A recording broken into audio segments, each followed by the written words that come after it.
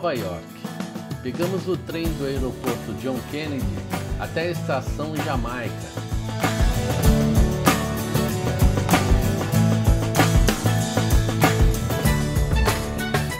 E lá pegamos o metrô para o Grand Central Station e de lá para o Hard Rock Hotel New York.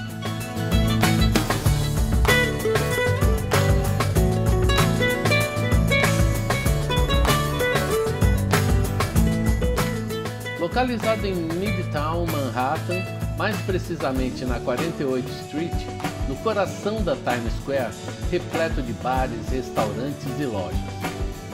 Próximo ao hotel tem diversos teatros da Broadway e é muito próximo do Rockefeller Center, do Radio City Music Hall e da Quinta Avenida. Uma localização espetacular.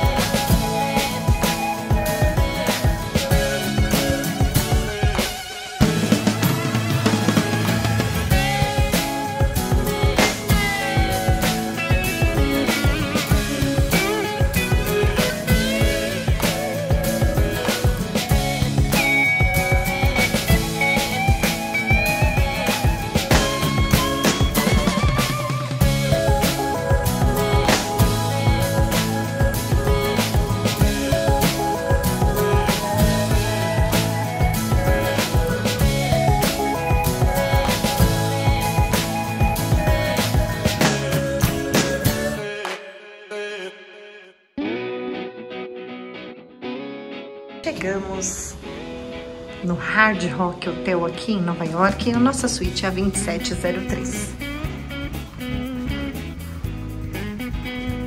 É um quarto bem minimalista, mas bem completo.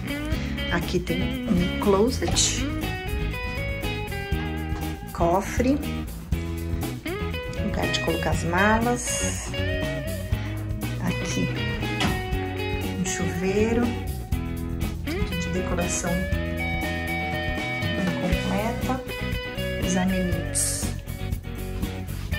aqui é bem delicado. Aqui o café incluso, café de máquina, água todos os dias. E pode também pedir mais, uma cama king. Então essa, essa suíte é a superior king. A vista do quarto. E aqui a gente tá bem pertinho, a gente tá na 48 e ali já é a Times Square. Lugar bem gostoso. E aqui uma TV, quarto bem completinho.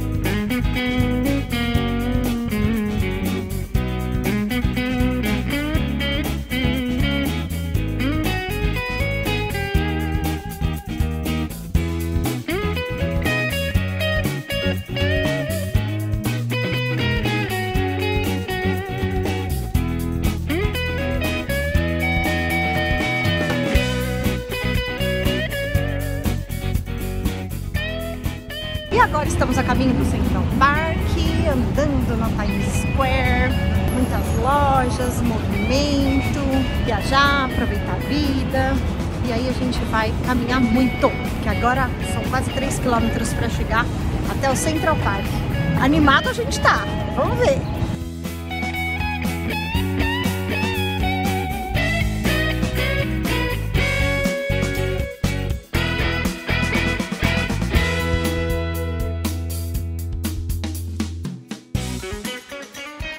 Muito bom aqui, caminhar aqui no Central Park. Você vai caminhando, vendo esquilos, passarinhos.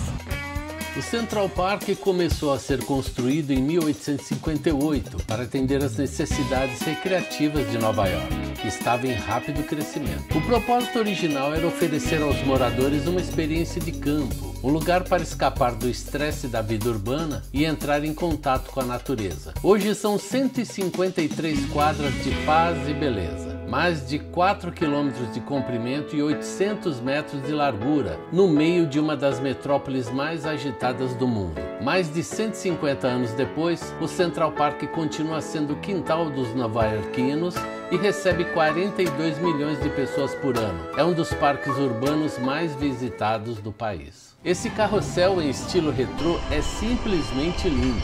Sua versão original foi inaugurada em 1871 e era movida por cavalos de verdade. Esta aqui é a quarta versão, de 1950, e é o maior carrossel dos Estados Unidos.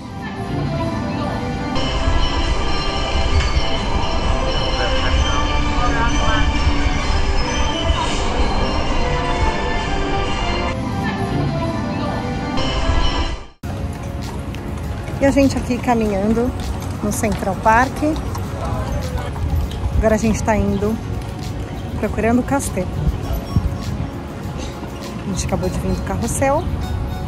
Olha os prédios e que céu mais lindo. Os prédios super altos. muito bom caminhar aqui no Central Park, verde, maravilhoso. Olha lá o Marcos olhando o mapa.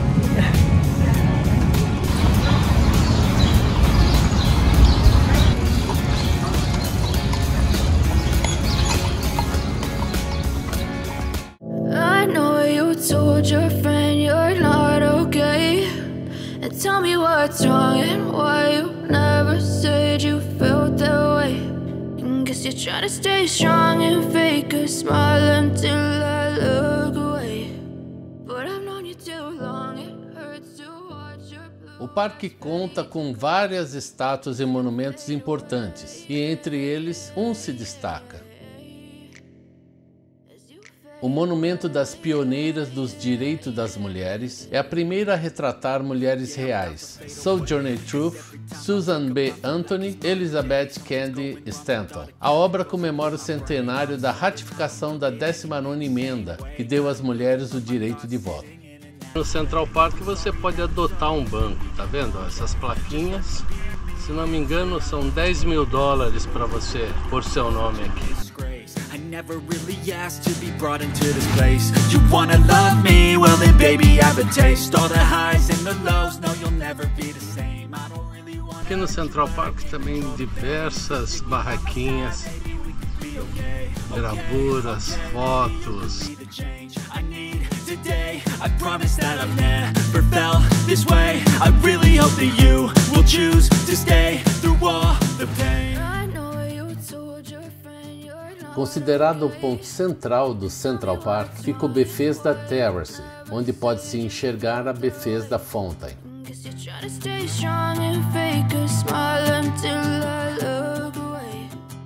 Embaixo do terraço há um arco de 1860, com um teto feito de azulejos coloridos e sempre tem apresentações de música.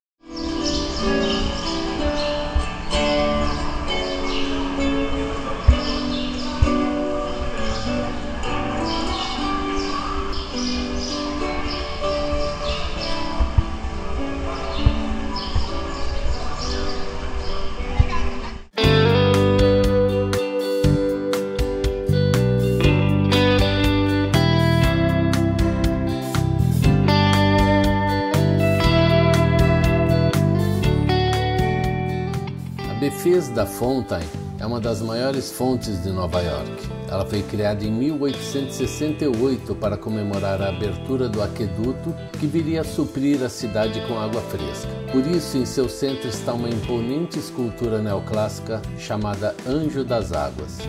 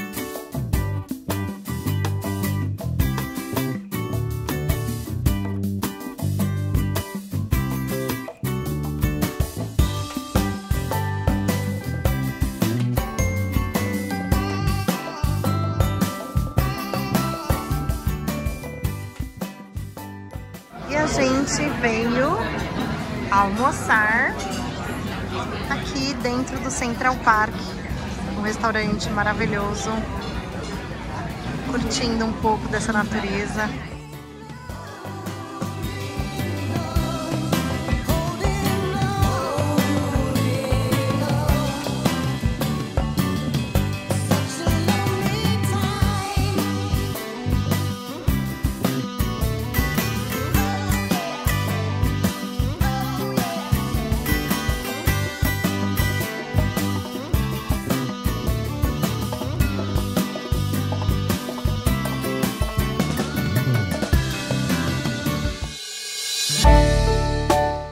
Num terraço com vista para o Conservatório de Água, o monumento ao autor dinamarquês Hans Christian Andersen, mais conhecido pelos seus contos de fadas, incluindo A Pequena Sereia, As Roupas Novas do Imperador, A Pequena Vendedora de Fósforos e O Patinho Feio, comemora os 150 aniversários do autor e foi inaugurado no parque em 1956.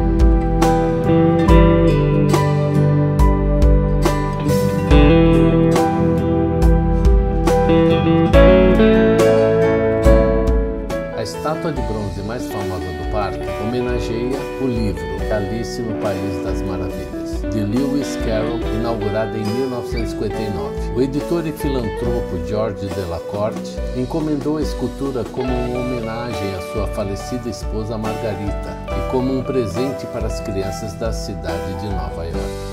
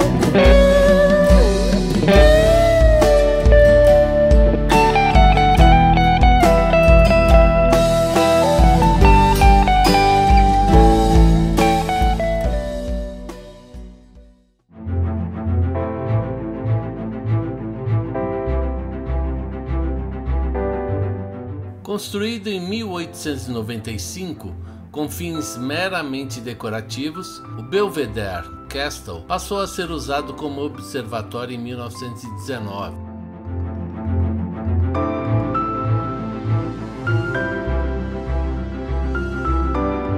Partir de sua torre são medidas a direção e a velocidade do vento, além da quantidade de chuva. O castelo também possui uma programação de eventos de astronomia, observação de pássaros e afins.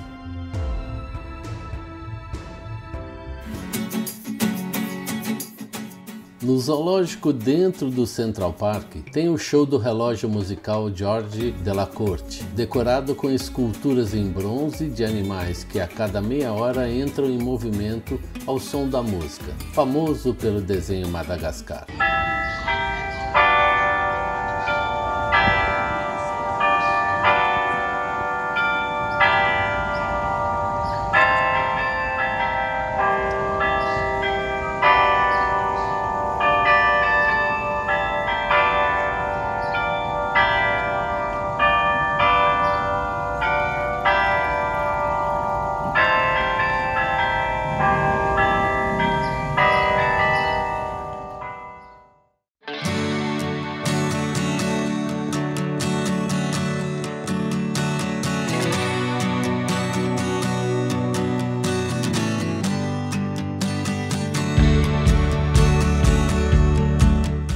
Inaugurado no final de 2020, o One Vanderbilt, de 427 metros de altura, é mais um arranha-céu no skyline de Nova York.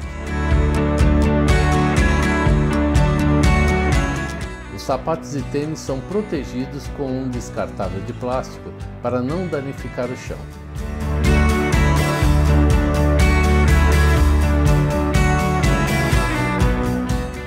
Você deve estar com óculos escuro por causa da luminosidade, mas caso não tenha, você pode pegar e devolver ao final. A gente vai chegar lá, já já.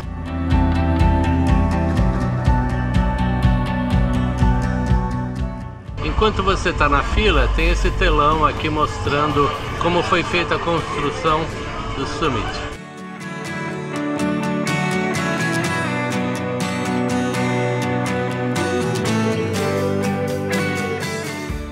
A segurança é rígida, são revistadas bolsas e mochilas.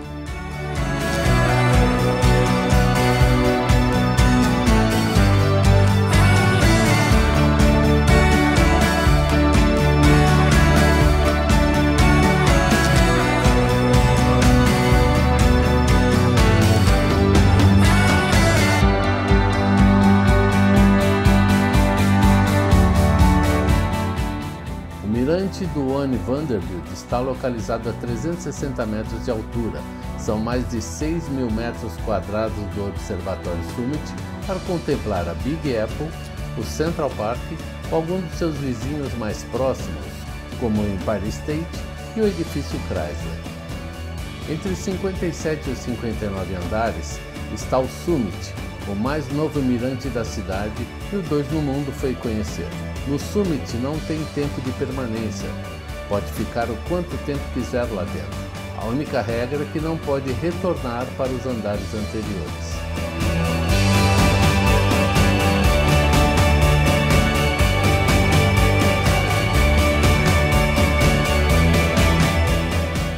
Uma vista incrível. Olha!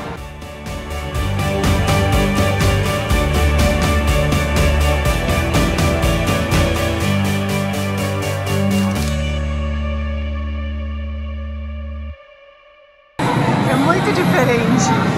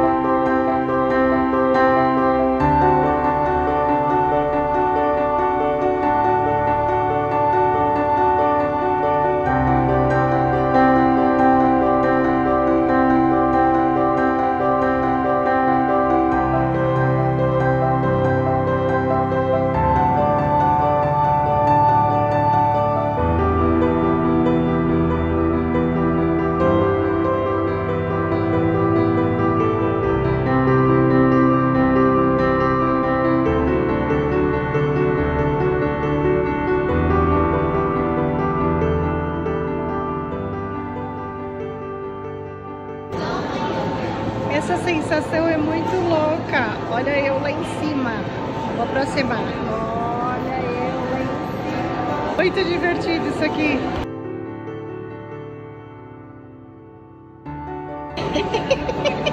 Tô me divertindo lá, amor.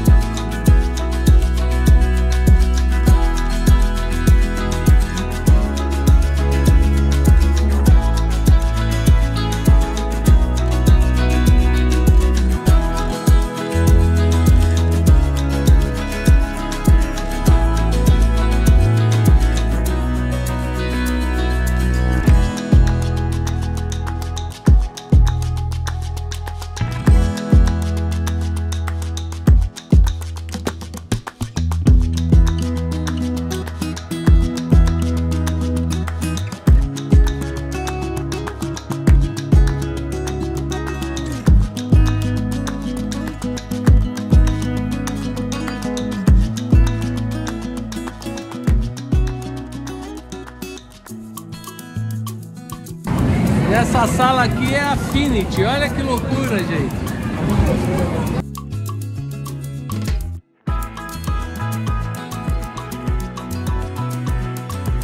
Nessa sala todo mundo volta a ser criança, se divertir.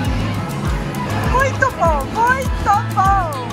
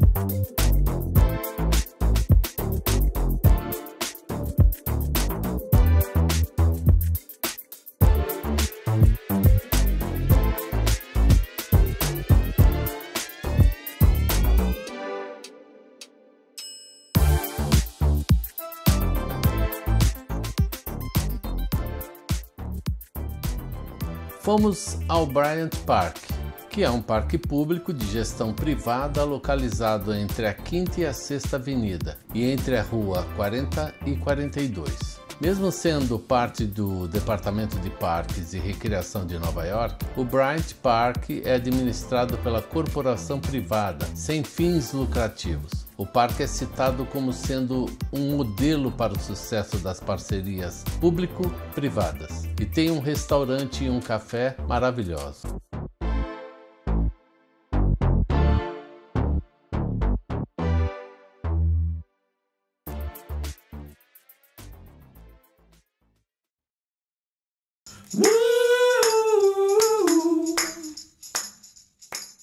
E agora você vai se deliciar com essa maravilhosa loja de brinquedos, a Fall Schwartz.